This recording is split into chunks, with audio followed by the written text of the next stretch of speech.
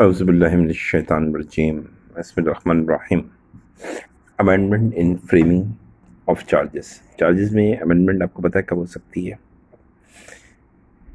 तो ये trial court भी कर सकती है और एपेलेट कोर्ट भी कर सकती है। लेकिन ट्रायल कोर्ट याद रखिएगा, कब तक कर सकती है ट्रायल कोर्ट जब तक ट्रायल चल रहा हो। ट्रायल का डिसीज़न दे दिया, उसके बाद नहीं कर सकती।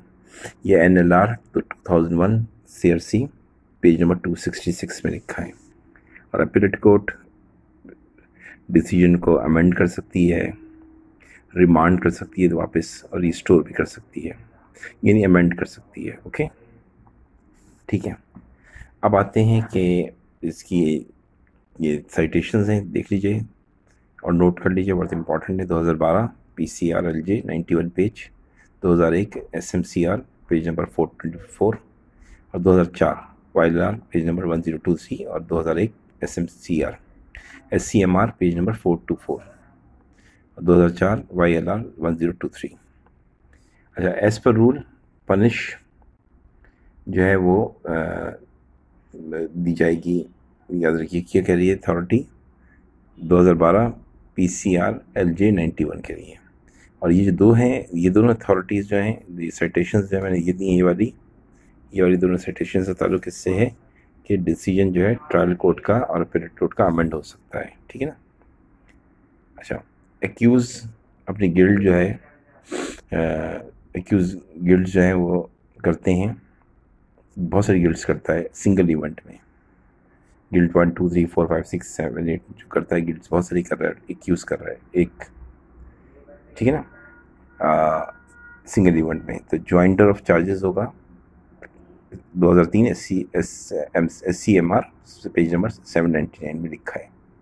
ठीक है ना? एक सिंगल इवेंट में बहुत सारे जुर्म हो सकते हैं अलग अलग जुर्म होंगे तो उनको ज्वाइंडर ऑफ़ चार्ज में ही ले लिया जाएगा।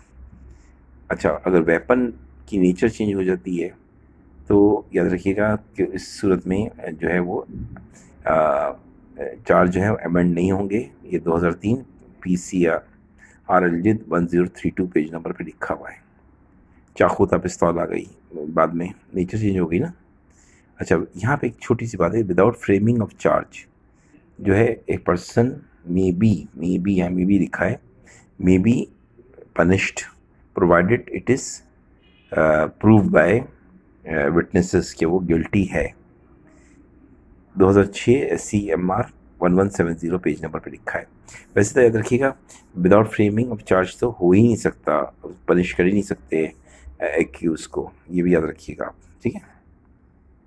देखिए यहाँ ये लिखा है कि इस, इस केस लॉ में कहा है कि अगर विटनेसेस जैसे साबित हो जाता है तो फिर बगैर फ्रेमिंग ऑफ़ चार्ज भी सज़ा दी जा सकती है।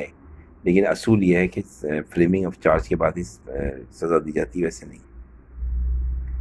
Thank you